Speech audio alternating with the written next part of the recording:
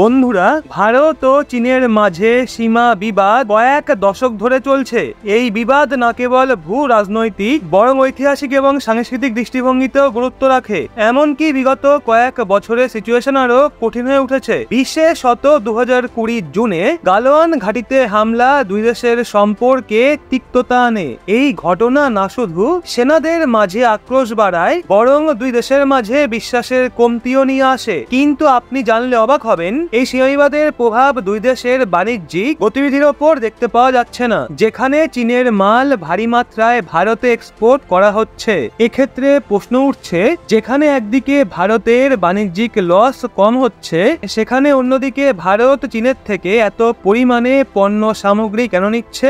আর সবচেয়ে বড় প্রশ্ন হলো, সদ্যই ভারত কানাডা বিবাদের পরও ভারত কানাডার থেকে মাল কেন নিচ্ছে? তো চলুন বিস্তারিত জানব আজকের এই ভিডিওতে। কিন্তু ভিডিওতে এগিয়ে যাওয়ার পূর্বে অবশ্যই লাইক করে চ্যানেলটা সাবস্ক্রাইব অবশ্যই করে নিন লেটেস্ট সব আপডেট পেতে। আসলে, চীনের সঙ্গে ভারতের সীমাবিবাদ বহু বছর ধরে চলছে, কিন্তু বিগত কিছু বছরে তিক্ততা অনেকটাই বেড়েছে, যার জন্য ভারত এবং চীনের সম্পর্কে ফাটলারও বাড়ে। যদিও এই সীমাবিবাদের প্রভাব দুই দেশের বাণিজ্যিক গতিবিধির ওপর দেখতে পাওয়া যায়নি, যেখানে চীন এই বছর এপ্রিল, সেপ্টেম্বরে ভারতের টপ ইম্পোর্ট সোর্স রূপে আত্মপ্রকাশ করেছে। আর এর দরুন মোট ছাপ্পান্ন দশমিক দুই নয় বিলিয়ন ডলারের ইম্পোর্ট চীনের থেকে করা হয়েছে। মানে এত পরিমাণে পণ্য সামগ্রী চীন থেকে ভারতে এসছে। সেখানে অন্যদিকে এর দরুন ভারত আমেরিকা দেশের জন্য টপ এক্সপোর্ট ডেস্টিনেশন রূপে আত্মপ্রকাশ করেছে, যেখানে আমেরিকাকে করা পণ্য সামগ্রীর export five point six two percent বেড়ে চল্লিশ দশমিক তিন আট বিলিয়ন ডলার হয়ে যায়। আর যদি আপনারা না জেনে থাকেন, তাহলে জানিয়ে দিই, ভারত চীনের থেকে ইলেকট্রনিক সামগ্রী সবচেয়ে বেশি ইম্পোর্ট করে, যার মধ্যে স্মার্টফোন ল্যাপটপ টিভি বিদ্যুতের সাপ্লাই এবং অন্যান্য ইলেকট্রনিক উপকরণ সামিল রয়েছে।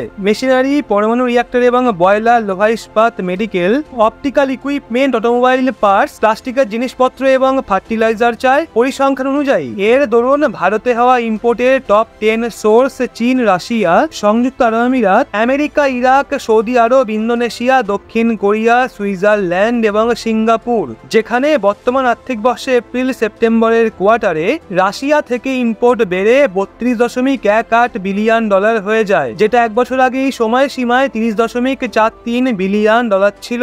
এভাবে ইউএই থেকে হওয়া ইম্পোর্ট ওই সময় সীমায় বেড়ে একত্রিশ দশমিক চার ছয় বিলিয়ন ডলার হয়ে যায়, যেখানে গত আর্থিক বর্ষের প্রথম ছ মাসে এটা কুড়ি দশমিক সাত বিলিয়ন ডলার ছিল। নজর দেওয়ার মতো বিষয় হলো, এই সময় সীমায় ভারতের top ten export destination America, UAE, Netherland, Britain চীন, সিঙ্গাপুর, সৌদি আরব, বাংলাদেশ, জার্মানি এবং দক্ষিণ আফ্রিকা ছিল, যেখানে ইউএইতে হওয়া এক্সপোর্ট বর্তমান আর্থিক বর্ষে এপ্রিল সেপ্টেম্বরের কোয়ার্টারে বেড়ে সতেরো দশমিক দুই চার বিলিয়ন ডলার হয়ে যায়, যেটা এক বছর আগেই একই কোয়ার্টারে পনেরো দশমিক চার সাত বিলিয়ন ডলার ছিল। এইভাবে চীনের ক্ষেত্রে এক্সপোর্ট আন্ডার রিভিউ পিরিয়ডে বেড়ে ছয় দশমিক নয় এক বিলিয়ন ডলার দাঁড়ায়, যেটা এক বছর আগে দু হাজার তেইশ চব্বিশে এপ্রিল সেপ্টেম্বরের কোয়ার্টারে সাত দশমিক ছয় তিন বিলিয়ন ডলার ছিল। কিন্তু বন্ধুরা অবাক করা বিষয় হলো, যবে থেকে ভারত কানাডা একে অপরকে ঘেরার চেষ্টা করছে, তবে থেকে দেখা হলে কানাডার দ্বারা ভারতের ওপর লাগানো অভিযোগই এই তিক্ততার আসল কারণ। এক্ষেত্রে প্রশ্ন ওঠে, দুই দেশের মধ্যে জারি মনোমালিন্য, বাণিজ্যের ওপর কি কোনো প্রভাব ফেলবে? তো আপনাদের বলে রাখি, ভারত কানাডার সম্পর্ক এই সময় সবচেয়ে নিম্ন স্তরে রয়েছে। কারণ কানাডা একবার পুনরায় নিজের দেশে খালিস্তানিদের টার্গেট করার জন্য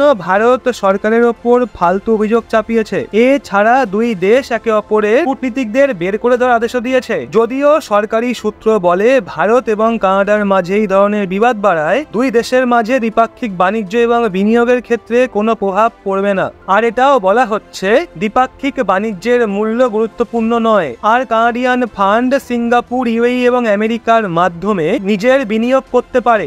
এমনকি সূত্র এটাও বলছে, ভারত ভারত বিনিয়োগের একটা সুন্দর স্থান। আর দেখা হলে কানাডা ভারতের জন্য ডালের একটা প্রাইমারি সোর্স। আর বর্তমান সময়ে যে সিচুয়েশন হয়ে রয়েছে, সেক্ষেত্রে অনুমান করা হচ্ছে এখন এই ডাল অস্ট্রেলিয়া থেকে আসতে পারে। যদি আপনারা না জেনে থাকেন, তাহলে আপনাদের বলে রাখি, ভারত এবং কানাডার মাঝে বস্তুর দ্বিপাক্ষিক বাণিজ্য দু হাজার তেইশ চব্বিশে কিছুটা বেড়ে আট দশমিক চার বিলিয়ন ডলার হয়ে যায়। যেখানে আর্থিক বর্ষ দু হাজার বাইশ তেইশে সেটা আট দশমিক তিন বিলিয়ন ডলার ছিল। তো নজর দেওয়ার মতো বিষয় হলো সদ্যই কানাডা থেকে ভারতের ইম্পোর্ট বেড়ে four point six billion dollar হয়ে যায়, যেখানে এক্সপোর্টে সামান্যই একটু কমতে দেখা গেছে। গ্লোবাল ট্রেড রিসার্চ ইনিশিয়েটিভ বলে, ভারত এবং কানাডার মাঝে কূটনৈতিক বিবাদের সেরকম একটা প্রভাব দুই দেশের দ্বিপাক্ষিক বাণিজ্যে পড়েনি। কিন্তু যদি আমরা বলি, ভারত এবং কানাডার মাঝে কোন কোন বস্তুর এক্সপোর্ট ইম্পোর্ট হয়, তো ভারত থেকে কানাডাকে সব থেকে বেশি এক্সপোর্ট করা সামগ্রীর মধ্যে টেক্সটাইল এবং apparel medicine medicinal product jewellery gemstone inorganic chemical ও মেশিনারি ইকুইপমেন্ট সামিল রয়েছে। সেখানে যদি কথা বলি, কানাডা থেকে ভারতে ইম্পোর্ট হওয়া সামগ্রী তো এতে agricultural product oil seeds minerals metal wood product এবং ফার্টিলাইজার রয়েছে। এক্ষেত্রে ভারত কানাডা বিবাদ নিয়ে বলা হচ্ছে, যদি এই বিবাদ দীর্ঘ সময় ধরে চলে, তাহলে দুই দেশকে আর্থিক লোকসান থেকে বাঁচার জন্য সাবধানতা অবলম্বন করতে হবে। বলে রাখি, ভারত রিসেন্টলি ছজন কানাডিয়ান কূটনীতিকদের বহিষ্কার করে দেয় এবং কানাডার তরফ থেকে লাগানো অভিযোগকে খারিজ করার পর ওখান থেকে হাইকমিশনকে ফিরিয়ে আনার অ্যানাউন্সমেন্ট করে দেয়। এক্ষেত্রে যদি এই বিবাদ বাড়তে থাকে তাহলে কোথাও না কোথাও এর খুব খারাপ প্রভাব দুই দেশের ওপরই পড়বে। ওদিকে যে চীন, ভারত বিরোধী গতিবিধি চালাচ্ছে তা সত্ত্বেও ভারত চীনের থেকে পণ্য সামগ্রী এক্সপোর্ট করছে। তো বন্ধুরা, আপনাদের কি মনে হয়, ভারতের কি চীনের কাছ থেকে আগের মতোই মাল ইম্পোর্ট করা উচিত? নাকি প্রধানমন্ত্রী মোদীর মেক ইন ইন্ডিয়া ড্রাইভের দরুন সব ধরনের পণ্য সামগ্রীর প্রোডাকশন স্বয়ং ভারতেই করা উচিত। তো এই বিষয়ে আপনার মতামত কমেন্টে অবশ্যই জানান। এবং ভারত সংক্রান্ত লেটেস্ট সব আপডেট পেতে সাবস্ক্রাইব করে চোখ রাখুন রহস্য বাংলার পর্দায়।